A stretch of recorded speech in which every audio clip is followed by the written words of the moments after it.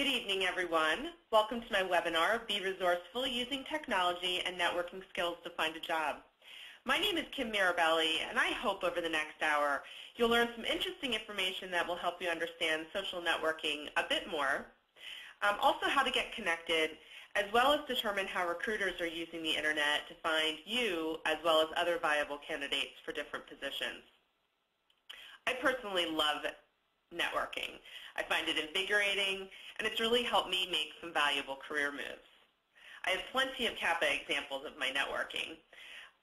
Through networking with a Kappa and the Philadelphia Alumni Association, I learned about the Training and Organizational Development Master's Program at St. Joseph's University in Philadelphia. I enrolled the following fall and started my career change from public accounting into HR consulting. At a Beta Province meeting, I learned about the Kappa Trainer Program, and many years later, I'm obviously still involved.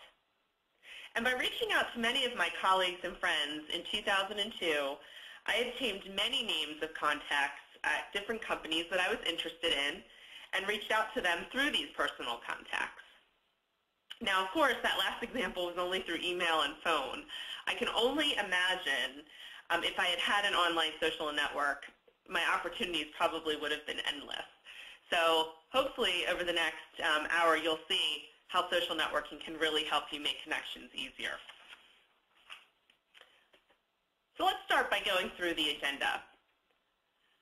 First, we're going to define what social networking is, and then I'm also going to provide you some various statistics that um, will probably show you that social networking is probably here to stay. We're also going to talk about how to brand yourself, um, in particular through, um, through social networking.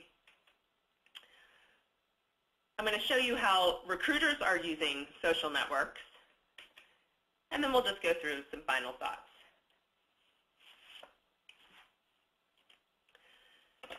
So what is social networking? A social network is a social structure made of individuals or organizations called nodes. And these are tied or connected by one or more specific types of interdependency. And that can be a friendship, a kinship, a financial exchange, or a relationships of beliefs and knowledge, or maybe prestige. In short, it's just methods for individuals and companies to have a two-way communication. Now, this doesn't apply to just technological networking, which is mostly what we're going to talk about today, but it also applies to the networking that we do every day.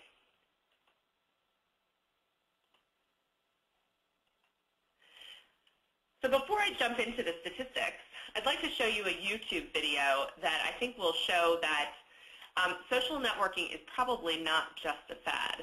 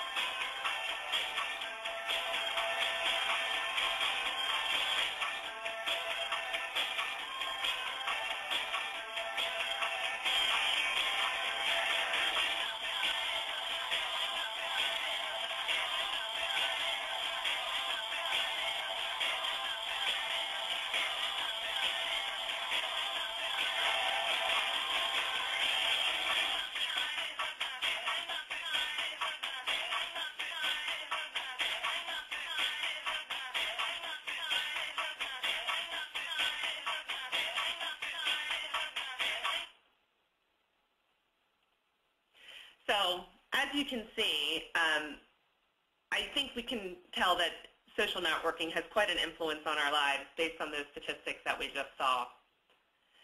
So before we go any further, I'd like to start with a polling question. And this is about which social networks do you belong to? And these are not the online social networks, but rather these are social networks that we're probably much more familiar with. So book clubs, professional meetings, those that are in person, campus activities and groups, mentoring, or more than one of the above.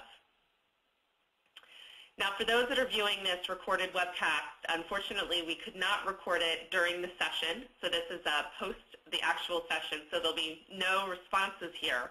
However, during the session, 100% said more than one of the above. This is not surprising. Um, number one, everyone's on this call, so um, it's not surprising that those viewing are much more social and trying to advance their networking.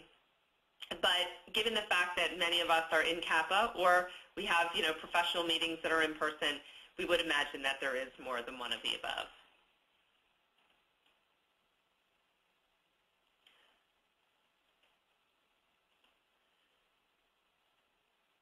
And another question that I'd like to go through now, now is which online social networks do you belong to?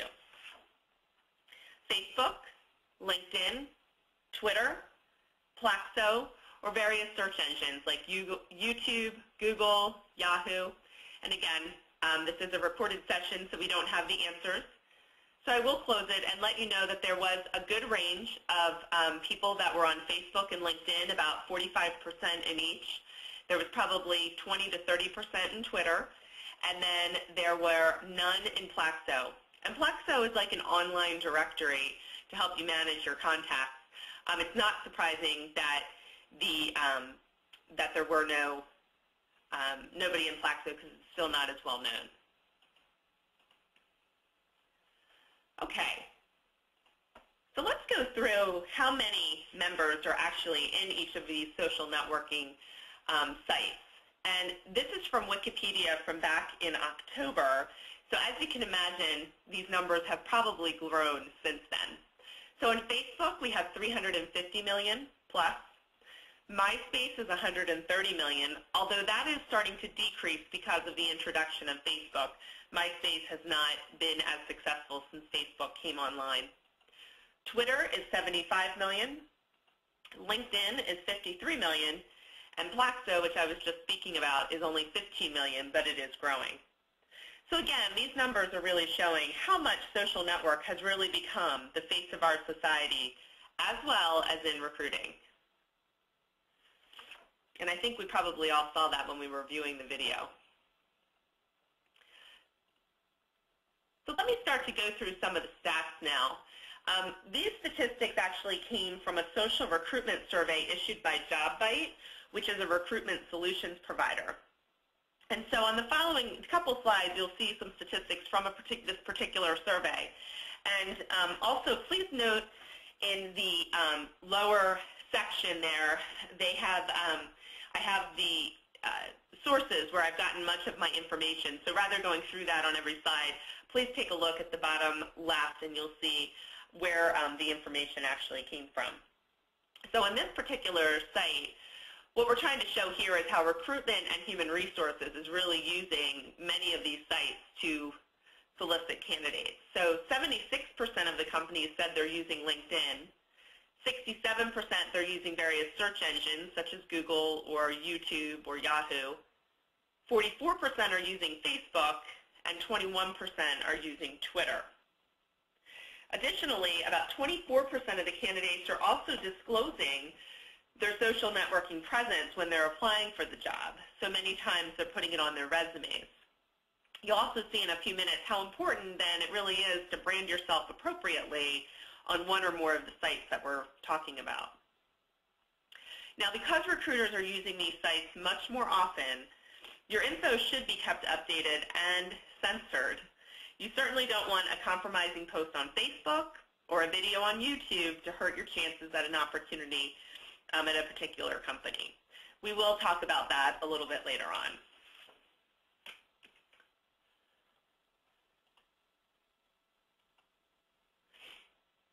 Okay, so some more statistics. Again, um, this is from the Social Recruitment Survey issued by Jobvite, and this data clearly shows that employees, and most specifically recruiters, are actively using social networks, such as Facebook and Twitter, as a major source for finding candidates. And this may help a company reduce some of their costs around using job boards and search firms. And the job boards are the Career Builder and Monster.com, and search firms are actual firms that are, are paid to go out and find you viable candidates. The survey did indicate that internal transfers and direct employee referrals are still the best source for candidates. So as you can see, 76% of the companies surveyed still plan to invest in employee referrals. And that usually comes in the form of a referral bonus to the employee. So the good thing is, the, the companies are still trusting their employees to find the best candidates. However, you can't find all candidates this way. So they are then, you know, 72% are planning to invest more in recruiting through the social networks and really making it part of their strategy. And 80% of the companies are planning to use social networks to find or attract um, candidates. Now, LinkedIn grew from 80% in 2008 to 95% in 2009 of the companies who were surveyed.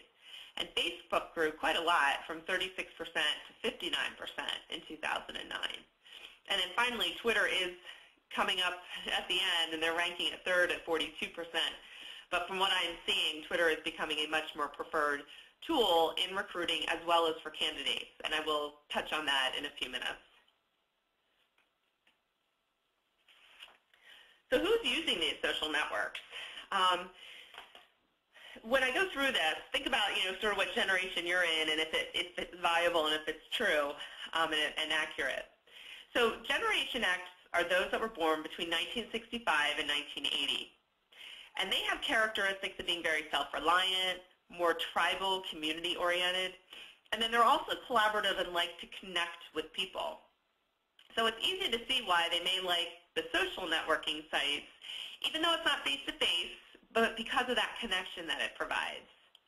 Without a doubt, they would prefer to be face-to-face, but they do understand the social network now to connect with people. Now, Generation Y are those that have been born 1981 to 1995, and they have the characteristics of being very confident, impatient, socially conscious, and of course technically savvy they want to connect to everything. So obviously due to this, they, it's even more clear why they love social networking through the internet because they can connect to everything and it's a lot faster. And if in fact it is true that they're impatient, they can get their information much faster. Now, those that may not be quite as into social networking, or maybe are doing it a little bit more reluctantly, are those of the baby boomers who were born from 1946 to 1964. They're very idealistic, they're competitive, and they have a huge strive to achieve. They're also very self-driven and like to be led to information. Now, once they have the information, there's no stopping them. But using social networks isn't always the easiest for them because they have to hunt for the information.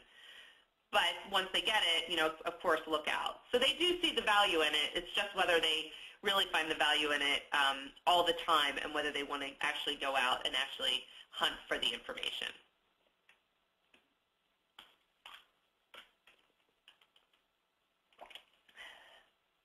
So let's switch gears a little bit and talk about how to brand yourself online.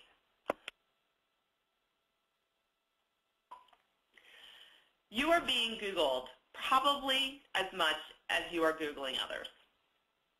Therefore, staying up on your online presence is critical to your career management. Now, unlike the old days where just going to a networking event um, provided you with a lot of contacts and it also allowed you to make a great first impression, you are now subject to others forming an opinion of you just by looking at what showed up when they Google your name. So it's a lot different than what many of us are probably used to. So it's not just about career management. Frankly, it's also about reputation management. Now, how you approach this is very dependent on your own career goals. Before preparing for the seminar, I didn't think having my LinkedIn profile updated was really that big of a deal because I wasn't looking for a job. But after doing all this research, I realized that people may be looking for me anyway, or my name may come up in one of their searches based on keywords that are in my profile. And so if my profile isn't updated, you know, future opportunities might not be available. And you know, that just doesn't seem to make sense because you don't want your name to be crossed off of a list just because something's not updated. So let's start with a polling, polling um, question before we jump into some of this.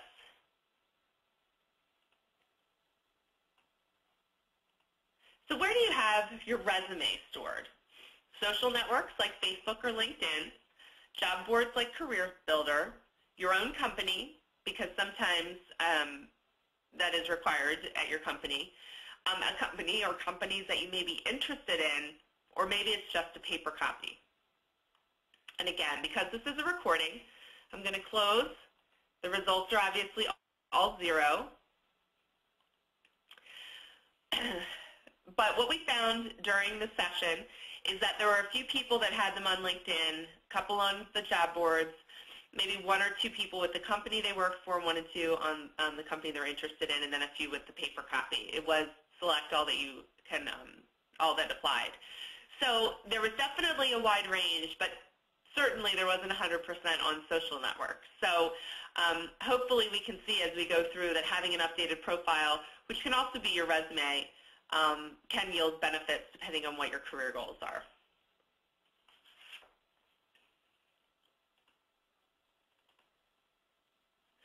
All right, so let's talk about specifically how you can brand yourself online. The first one is LinkedIn.com, and I'm going to talk about that in a fair amount of detail.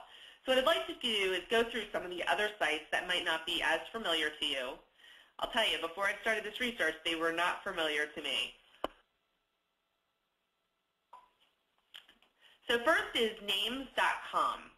And what this does, it allows you to create a profile, and, but it allows you to point to other online identities, such as Facebook, Twitter, YouTube, so anywhere else that you may have other pieces of work that you would like people to see. Additionally, if you upgrade your account with this particular site, it will guarantee a first page placement on the leading search engines, such as Google, um, so that you know if you are actively looking for a job, your name would come up first. The next one is businesscards.com, and this is a virtual business card that can be downloaded, um, and it is designed to show up in your search results. Um, what's neat about it is that you can um, include your bio, your recommendations, and attachments. Um, and what might be nice with this is that you can have like your resume presentation or articles and photos, so things that might be applicable to the particular career that you're working in. So if you're in marketing or sales, where you might need some sort of brag book, um, this might be a real good option for you because then you can just have it right online. VisualCV.com takes your resume to the next level by allowing you to back up your achievements with proof of performance. So you can upload other documents that back up your accomplishments. The only thing I caution you here is to be careful with company proprietary information. Most of us can back up our resume, but it might be with presentations or other documents that technically are the company's. So just be careful that you don't breach any privacy policies that your company may have. And then finally, alltop.com. And it is recommended, excuse me, that you publish articles or post thought leadership blogs if in fact you are a expert in your field. Um, and this particular site, alltop.com, allows you to find websites and blogs um, that could be effective in reaching your target audiences that you do want to reach through your articles and your blogs. So um, if you are looking to start publishing or start to really get out your knowledge, that's probably a good place to turn to. So let's now talk about the most well-known and popular professional networking site, and that would be LinkedIn. So LinkedIn is the fastest growing professional networking site, which was founded in 2003. As previously shown, it has about 53 million members, but that was as of October. so um, most likely uh, there is probably closer to 60 now, since they are growing at 2 million people per month, which is about one profile per second. They are in 200 countries today, 61% of their members are in North America, and 73% of their membership is 26 to 45-year-olds. So a lot of career transition or getting into their career at that age. IT professionals make up the largest part of their membership. However, that should not deter anyone from getting into LinkedIn and starting to make connections. Now this is set up to be searchable. Um, there's lots of areas for keywords, for summary, for names, for experiences, which we'll see in a few minutes. And that is why on the previous slide, we referred to LinkedIn.com as Google Juice, because it is so searchable and it's so easy through Google to find what you're looking for. Additionally, there's about, um, when I was talking about they're in 200 countries, there's 11 million users in Europe alone now, and India is the current, currently the fastest growing country with almost 3 million users, which isn't surprising because India is obviously growing very quickly with so much offshoring happening with our companies. Interestingly, the Netherlands has the highest rate of participation among their population.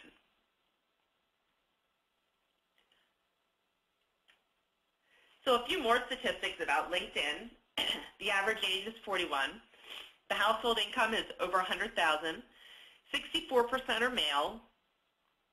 34% have some sort of smartphone or PDA. And what this really tells you is that they're technology focused and they want to stay connected. Most people that have a PDA or smartphone are those that really want to be connected 24-7. 80% have a college graduate degree or a, a postgraduate degree. What I thought was so important was 49% were business decision makers. And so obviously that's huge when you're trying to find a job and you're trying to make a connection that's very valuable because you want it to be the decision makers in the company. And then 6.5% are vice presidents. So you can see that you, the people that are on here could be very influential and could be very beneficial to you, especially when you start to make contacts through some of your contacts.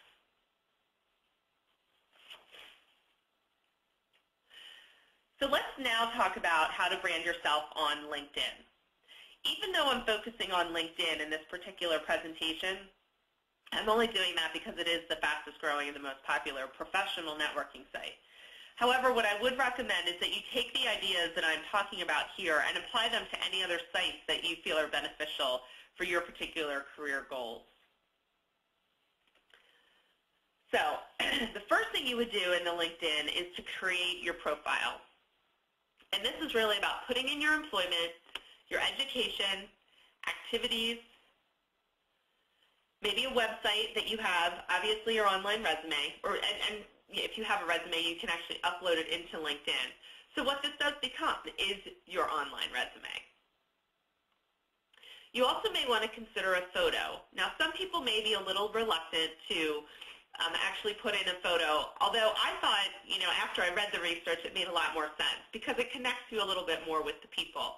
And if you want to connect to other people's connections, sometimes that photo really helps um, just giving that familiarity. That was one of the reasons I put my photo at the very beginning of this presentation was so that you had an idea of what I look like since I was going to be talking to you for an hour. One recommendation I have, though, is to put the same picture wherever you have your um, information that outside people are going to see. Maybe not, maybe your Facebook picture is different if you're going to use that for personal reasons, but your photos should be the same in all your professional sites. So for me, you know, I use the same photo today that I have on LinkedIn, and that's the same photo I have in my company profile. You also want to have keywords and skills documented within LinkedIn. Um, specifically, um, you put that in your resume so that the recruiters can easily find you through the search function. As I mentioned before, LinkedIn was made to be searchable. And so they have this area for the keywords. And what I did, and you'll see in a moment, is I actually put the key areas of focus that I particularly work in so that if anybody's trying to search on those words, my name would come up. You also want to build your network. So you want to connect, connect with other members whom you trust, and also have a business relationship. This is not the place to connect with everybody you know. It should be your professional contacts for the most part. So this isn't a place where, like Facebook, where they have contests to see how many friends you can get in a period of time. Um, this should definitely be more narrowly focused, um, again, to focus on your career goals and what you want to make LinkedIn for you from a career management perspective. You also want to get recommendations where you can. Many of us may know the days when we would call a friend and say, hey, listen, X, Y, and Z company may call you to get a recommendation on me. Do you mind giving it to you to them? Now you can actually do the recommendations right in LinkedIn. And um, I recently did that. You'll see my recommendations. The one thing I would suggest, though, is make sure that you're indicating why you're asking for that recommendation and not just asking for it blankly. Even though you might not be looking for a job, it might be worth just looking to see what's out there. This will help you determine whether are you still marketable, do you need to change your profile a little bit to keep yourself marketable. Um, it doesn't. It just doesn't hurt to see what's out there and what's um, maybe what the, the biggest, the more popular flair is in your particular industry. And then finally, there's a section within LinkedIn, um, it's called Answers. You might want to consider this if you want to keep your profile active. And being active just means that it continues to be part of the search process. Um, and this just increases your visibility if you're answering questions that are posed on LinkedIn. And so we'll see in a moment when we go through my profile where people just pose questions, and if you have some expertise in that area, you may want to answer the question. Um, the only thing I would say is don't pose questions that are just for fun. Um, I don't think that really adds any value. And don't answer a question if you don't really have, you know, a true knowledgeable opinion or some expertise in the area. Now, LinkedIn is a great site if you are changing careers because you don't have to focus on past experiences, but rather you can really focus on your current competencies in your profile, and we can go through that. You may also want to consider having two resumes to send to potential employers, one which is an experiential resume and one that's a functional resume. So if you are changing careers and you don't want to just dwell on your past experiences, it might be worth having more of a functional resume so you can focus on how your skills and knowledge and competencies really um, fit for the particular position that you're looking for.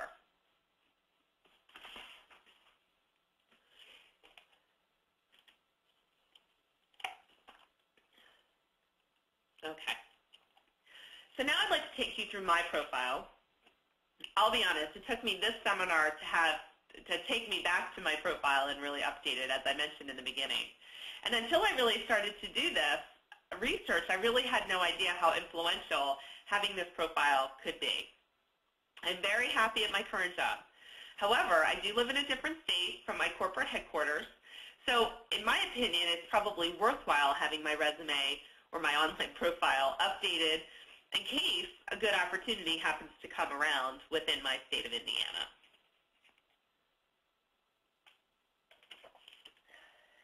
Okay.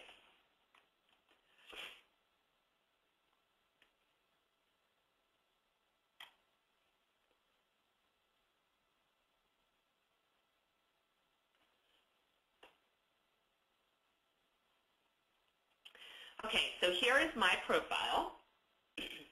You can see I have the same picture that I had um, previously at the beginning of this presentation. And this essentially is my public profile, I, I think. You can connect on your public profile down below, but I think HR uh, director at Unisys, that's my current position. And then I do have all my past positions at Unisys as well. You can click on See All to see where else I was um, working. I would recommend, just like with any resume, that your most current positions that are, you know, what your career management or career goals are all about be outlined in your resume. Some of your older positions may not need to be um, as, uh, you don't need to go back as far in your older positions. So when you go down into my um, profile, I'll show you what I did for my one of my earliest positions. You can see your education here. I went to St. Joe's in Villanova. And then I have some recommendations that I'll take you through. I have 96 connections. Now the one thing that I have not done is a summary yet, and partially because I'm not looking for a job, so I don't really have, I haven't really thought through what my career goals are going to be, but that's really what your summary should be about. But something new that I did do was put my specialties in, and this is where your keywords are. So my specialties are around project management, workforce planning, performance management, and operational excellence. Those are the primary areas of the job that I do today. I then have um, all of my experience, um, and I have recommendations against my first, my most recent position, which again is um, an HR director. And then I have my most recent HR positions um, here as well as when I was in resource management. And the reason I have all of these positions outlined here is because this is where my career is heading. It's going to continue in HR. Whereas previously I was a project controller and then a public auditor. And so in particular for Andersen, I started there in September of 92, right after college, and I was there for nine years. Um, but I only put that I was a senior manager. I wasn't a senior manager for all those nine years, but I think most people who understand public accounting know that you continue to make um, gradual progression through the company. So senior manager, manager was my last position with the company. You can also see here that I really just have a quick little blurb about what my position is. So this is a little different than a resume because if you had a resume, you'd probably be documenting a bit more about your accomplishments in each of those areas. So even though this is your online resume, for all intents and purposes, you should obviously have your more um, detailed resume that has your accomplishments in it. Then it goes down to more details about your education. And then here are the recommendations that I have here.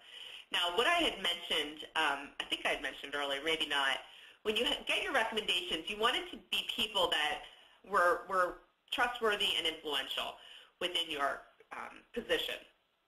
And so what I did is I purposely went out to people at Unisys or people that used to work at Unisys um, who I worked for, who worked for me, and who are my peers. So example is this person, Elizabeth, is a peer of mine. And we work very closely together on a number of projects. This gentleman, Steve, I worked for. He was the vice president of HR for the business unit that I support. And then Gary is another peer, and Aaron is someone who works for me on a project right now. So I think that's very beneficial to actually have a variety of recommendations so that people can see that you weren't just going out maybe to your friends to get those recommendations.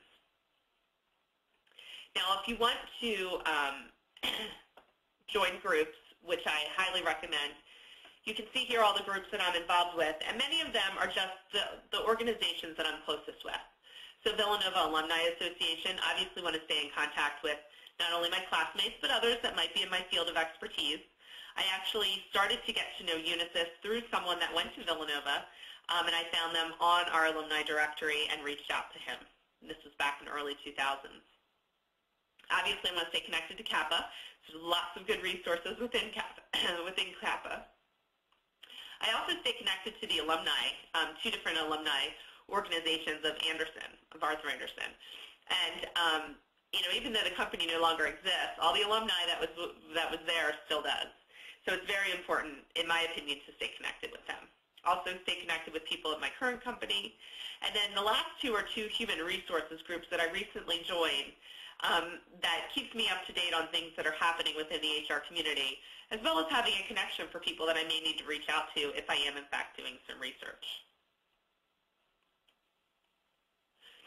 Now, as I said, this was sort of my public profile. if you want to edit your profile, you just hit edit my profile, and then you can go in and add positions, add websites.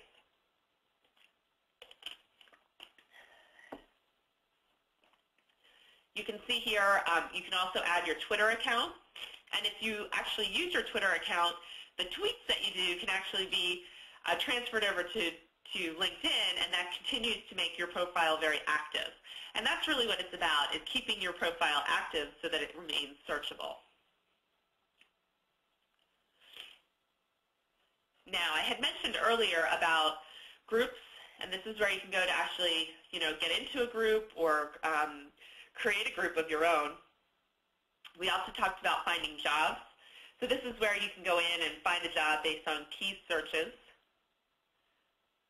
And then the more section is where we were talking about answers or and events. So answers is if you click on answers, you'll actually see the questions that have been posted and um, you know you can go ahead and answer if you would like to.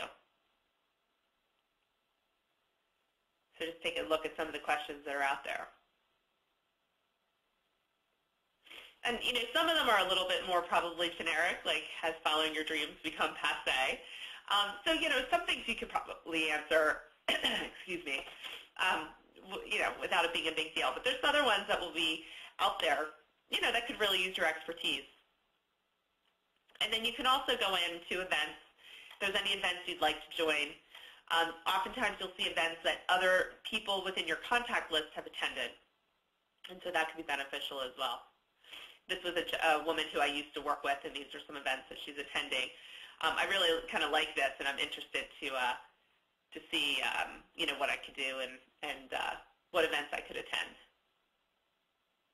All right, well I think that's it for the profile. So let's go back to oops. Let me go back to resume my slideshow. so now that you're connected, I would suggest that you join groups like we talked about. Um, you know, there's a lot of different ones that you can join. As you saw with my profile, I would suggest joining groups that are a part of the groups that you already belong to, your own company, past companies, your college. Um, I don't know if you want to join, you know, your high school group, if there is one, but for those of you that might have gone to a very large high school, it may in fact um, be viable. Um, but, you know, what you want to do too is you may not want to post information on those sites right away. You may want to wait and see how other members are communicating. If you see that it's very casual, then it might not be a big deal to actually start connecting.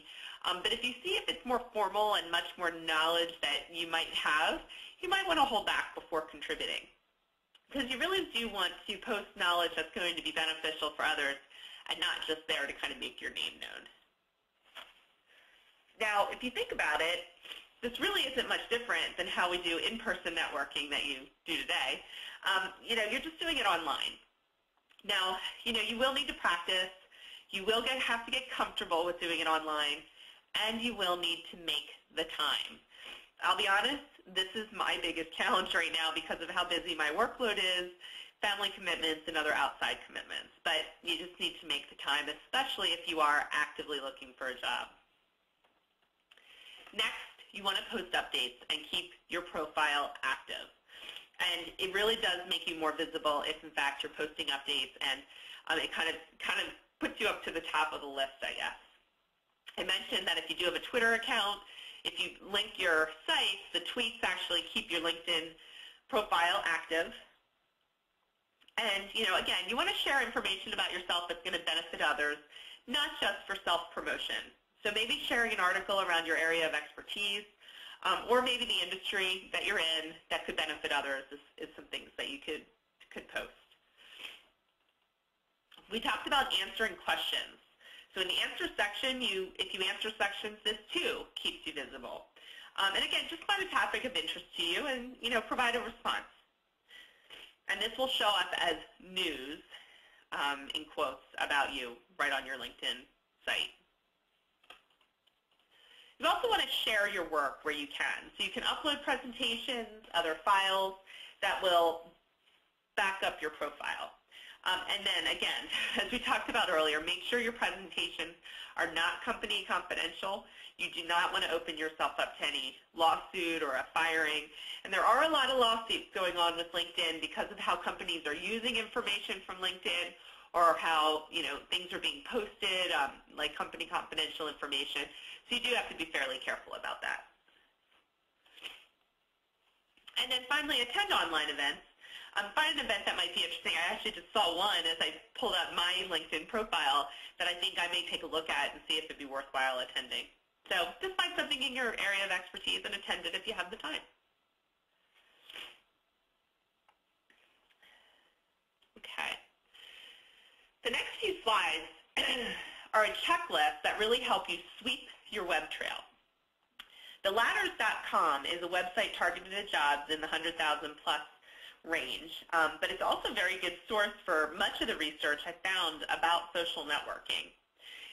This in particular, this checklist, I think is an excellent way to clean up your web trail. So I want to walk through this now, and the link to the checklist is down below, and um, you can document that and go ahead into ladders.com. You can also just go into ladders.com and do a search for it, and it comes up pretty, pretty quickly. So from a social networking perspective, the web cleanup that you would do is in LinkedIn, you know, just go through and check to, to ensure all of your information is accurate as well as updated. You want to make sure that you're inserting keywords like in that specialties section um, that would be important to the job that you're seeking or the job that you're in currently that you do enjoy so that you could open up some possibilities for yourself. And also check the Contact Me section. If you would like to be contacted, click that so recruiters know. I will say that many recruiters search LinkedIn, and we're going to talk about that in a few minutes, um, but they may contact you even if you have the contact um, box not checked. I talked to one of the recruiters at my company, she said, yeah, every once in a while when we find somebody really good, we might contact them even, they, even though they say not to.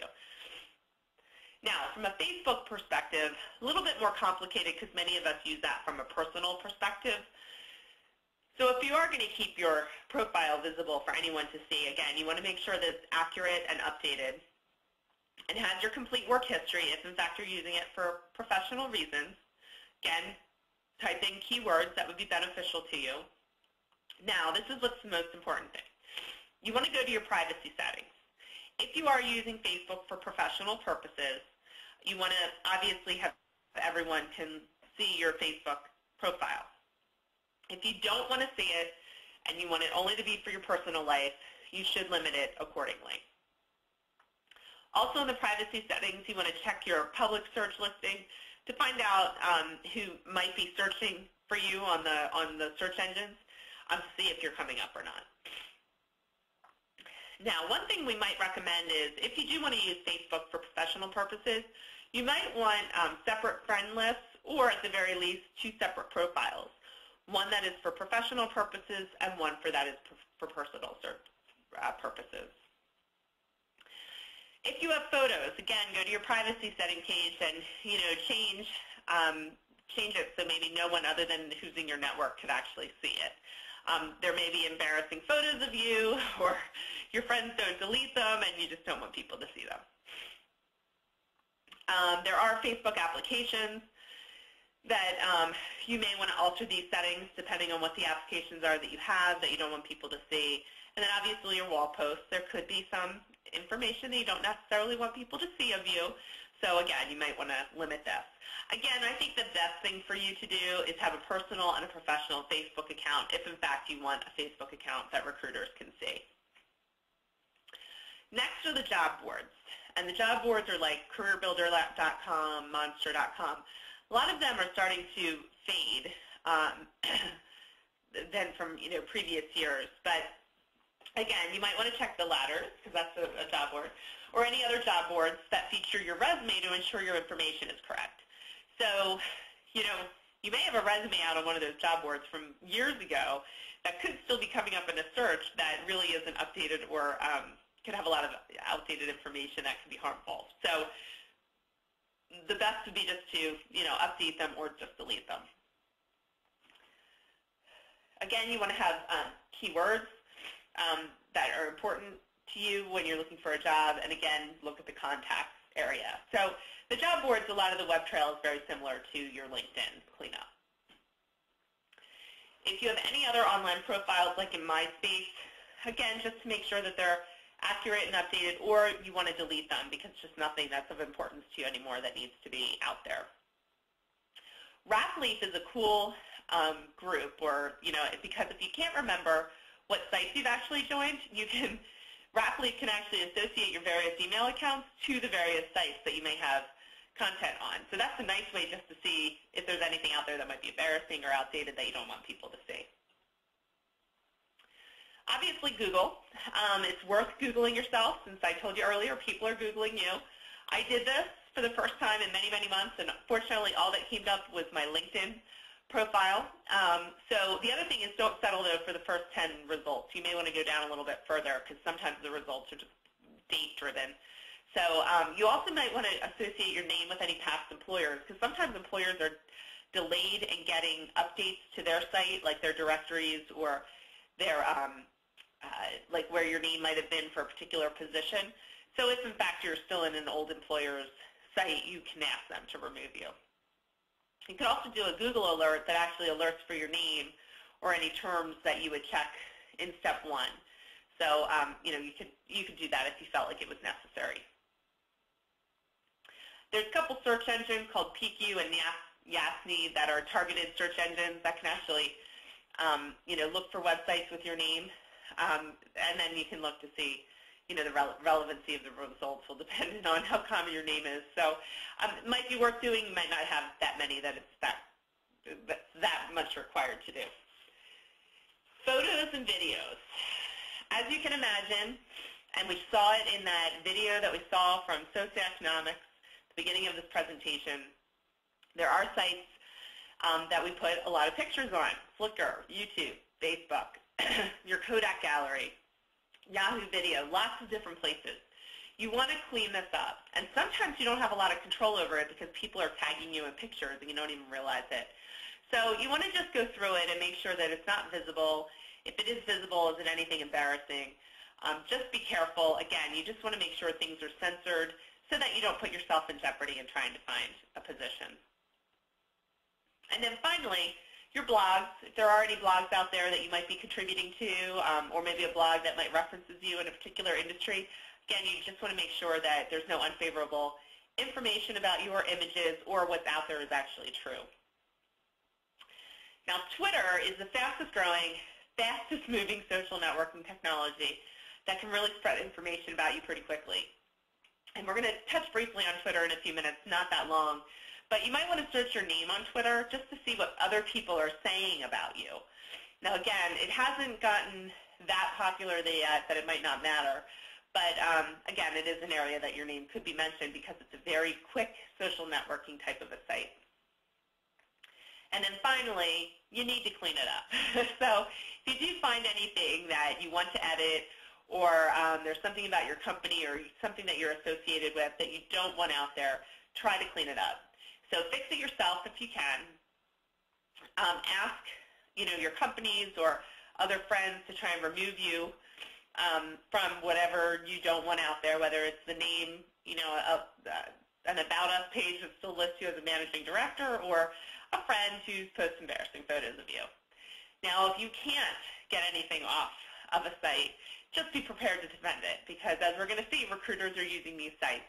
So we do want to be careful about what we're posting out there. All right.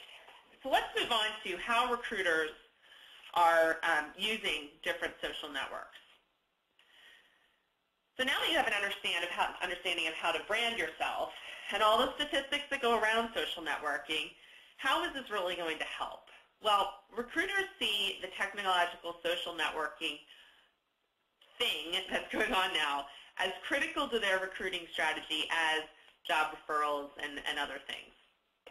So they're getting quite savvy with how to use the different sites. And we saw some of the statistics earlier that indicated 72% of the plan, um, or 72% of the companies plan to invest more in recruiting through their social networks. And 80% of the companies are planning to use social networks to find or attract candidates. Now, I'll say from firsthand experience, my own company, in our own company, our recruiting group, had a one-hour webinar on how Unisys is going to use online recruiting. And it really highlighted how serious we are about this, you know, as a company as a whole. So let's discuss how they're doing this. But first, let's take another polling question because it's been a while. How many of you have been contacted by a recruiter um, through an online social network? So yes, no, or not sure. And again, this is a recorded session. after our main session. So I will say that um, since you can't see the results, only one, uh, I think it was 14% said yes, and the rest all said no. I think there might have been one person that said not sure. So um, again, it's still new. It also depends on how active you are from a career setting or career management perspective, and if you really are going out there and um, keeping yourself searchable for um, the uh, jobs online so that the recruiters are actually finding you.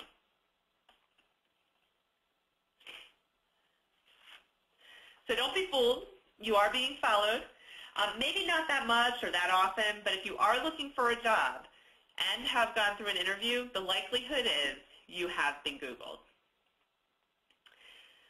Now, hiring managers like having social networking outlets because they can get a much broader picture of the individual. LinkedIn is recommended as the site to go to first for hiring managers since it's 100% professionally based. Now, interestingly enough, they also think they will find their best talent on social networks.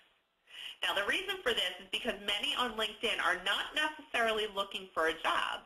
They're just, they just want to be connected. But given that they're on the site, they seem to be open to networking and opportunities, and they're more technically savvy than others, it seems to be a good place to look for candidates.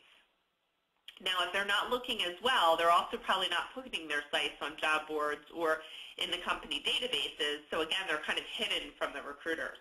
So the recruiters feel that this is a great way to find their best talent.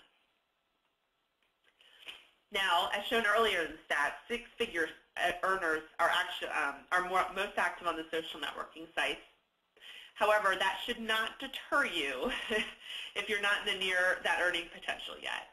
Recruiters also say that the social networking sites are incredibly useful for hiring college grads because they're much more technologically savvy than the average hire, and most likely they too are on these social networking sites. Now, recruiters are often purchasing licenses which allow them to actually expand their searches beyond their own contacts. So they may, as I mentioned earlier, actually contact you, contact you even if you say don't contact. So just know that recruiters probably have a bit more of a leg on you in these in the social networking sites because of what they're paying for. Now, even if a hiring manager didn't find you on a networking site, they will probably use it after the fact. So your profile may influence the hiring decision of that manager. So what this means is you need to be careful about what you're posting on Facebook or making sure your privacy settings are secure. And then note that recruiters shouldn't solely use the information that they find on social networks to actually make a hiring decision. There is a lot of litigation, as I mentioned before, happening right now in cases where that may be happening. But just know that most likely it is influencing their decision.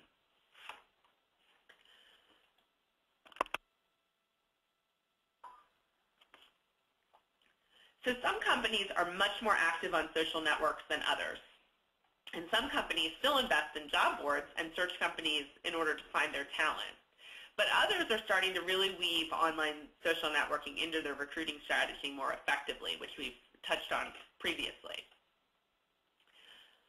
So there are passive user um, social networks.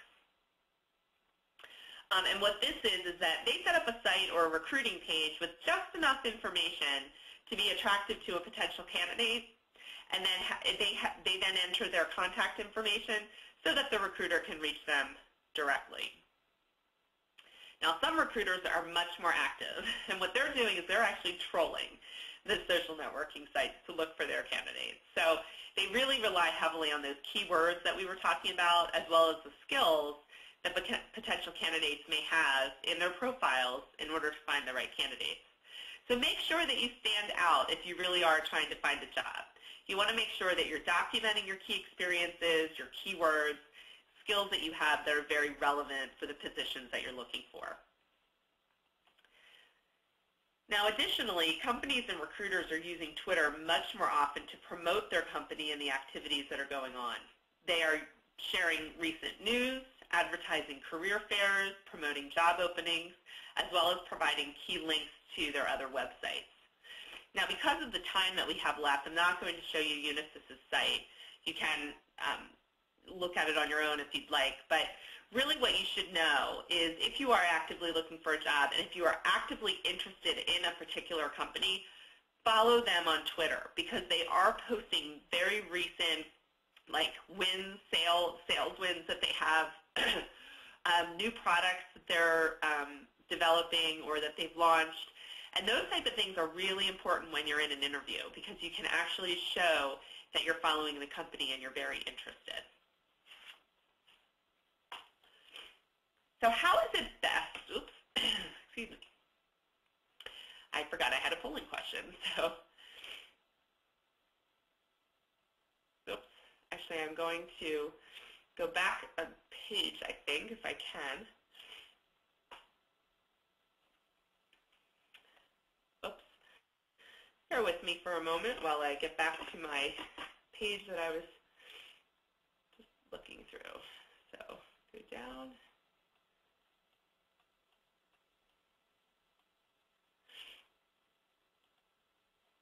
Okay, my apologies there. So how best is it to interact with the recruiters online? First and foremost, you want to make sure that if you're using your Facebook professionally, you have a separate professional account so you don't have to keep balancing your personal and professional account. You probably won't want, you know, pictures of your latest formal or your wedding, and that's what I have up, a lot of my pictures on Facebook are my wedding. Um, you, in most cases, whether in job searching or anything, you probably want to keep your prof professional and personal sites um, separate. Now, from a career management perspective, just, you know, always the separation of professional and personal areas is always a good idea. You want to answer questions, post questions, join groups on LinkedIn because it keeps your profile more active and more searchable and visible, which we were talking about earlier. It then kind of takes you to the top of the list when they are doing searches. If you do get contacted, be responsive. Even if you're not interested, it might be best to let them know and maybe know why. And although we haven't gone into depth about Twitter, as I mentioned before, I would recommend following companies that you're interested in. This really keeps you current on what's going on, and it prepares you better for the interviews and informal discussions that you might have. Bottom line, it makes you more marketable. And then finally, make sure you're contacting your contacts often. So don't be a pest, but let them know that you're still interested. Send them an article that you saw in the news or maybe something that you saw on Twitter and send it to the recruiter or the hiring manager so that they know that you're still thinking of them. So now we'll go to the polling question. Do you plan to look for a job or make contacts through a social network in the future? Yes, no, or not sure. And the results from this survey were um, there was a couple yeses, a few no's, and a few not sures. So because we had a fairly diverse group on the phone the night of the actual webinar, um, we had a number of people that were actively job searching as well as some that probably weren't. So there was a variety of responses on this particular question.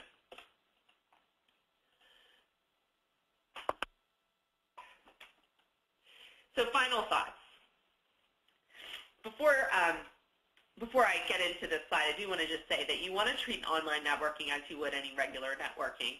You know, many of you feel more comfortable with face-to-face you know, face-to-face -face at professional meetings or mentoring others. But over time, hopefully you'll feel that comfortable with your online networking as well. Because frankly, it is the wave of the future. So now that you have an idea of how to online network, here are a few tips so that you can do it better. Um, you know, make sure that you follow the guidelines on this slide so that you can ensure that being as professional as possible when you are making your online contacts. So first, don't drop the ball. You want to follow through. So if you've made a connection, with someone sort of outside your contacts, maybe a connection through a connection. If you've set up time to meet, you know, meet them, keep the appointment or reschedule. Be flexible. You know, the people that you're connecting with are probably very busy. We saw that these are highly influential people that are on this site. So again, you know, work with their schedules if possible and respect their time. Um, so maybe they can't meet you when you'd like to, so just be as flexible as other as um, possible. Don't be lazy. When you send a person, um, excuse me, you want to send a personal note to someone you are trying to connect with. A lot of these sites have the canned note that goes along when you're trying to make a connection. If you can, send a, a nice little personal note to them so that they know that you're interested and you're not just clicking a button. Don't be pushy. If you've just started to network with someone, don't try and push a product or push yourself on them too quickly you know, let that relationship form just like you would with any other relationship. And also don't take advantage of your relationships. You know, there could be someone out there that you just thought that they have a connection with a company that you um, want to try and get into. Well, don't connect with the person and immediately just say, hey, can you connect me to so-and-so? You know, again, it's all about forming relationships, and you don't want to um, use the relationship for that sole purpose. And then give and take, probably the most important. If you're asking others to help you out, offer to help them out and reciprocate when asked. That could be through references or connections, anything like that. Additionally, you want to be careful. Um, as with any online surfing, you have to be. Users of Facebook and Twitter have had a 70% increase in spam and cyber attacks over the last year. Additionally, 57% have reported receiving spam through the networking sites, which is a 71% increase from 2008, which came from an IT security company study. 36% of the users say that they have received malware. And what malware is, it's any software that infects and damages a computer system without the owner's knowledge or permission. and they've gotten this through the different networking sites. So unfortunately, what has been found is that hackers can do this 10 times more effectively um, through the social networking site than through email.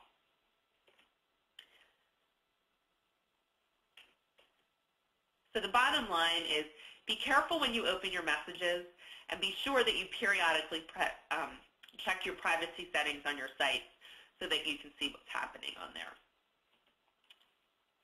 So the last polling question is, oops, oops I'm so sorry, I just um, went to my next slide, but here we go. Um, are you going to, uh, or I am going to create an update, um, my LinkedIn profile tomorrow. I'm woefully behind. In the next few weeks as I'm actively searching, in the next few months as I'm not actively job searching but want to stay visible, and never. I'm not job searching and don't need to be visible online. And what the um, results showed the night of the webinar was that um, a couple people had said that they were going to do it pretty quickly, that tomorrow mostly behind, but most said in the next few months since they weren't actively job searching at this point. So at this point during the webinar, I did ask for questions, and one person did ask if the um, these sites were available to people in Canada. And I would say that most sites are worldwide now, and they should be available to anybody in any country. Um, they may not be as well used as maybe in the United States, but overall, they, um, they are available to anybody worldwide. Since there were no more questions, I will go on to my contact information, Kim Mirabelli at kman at hotsheet.com, 610-212-2516. I thank everyone for attending this presentation. I hope you found it valuable, and best of luck if you are, in fact, looking for a job. Thank you.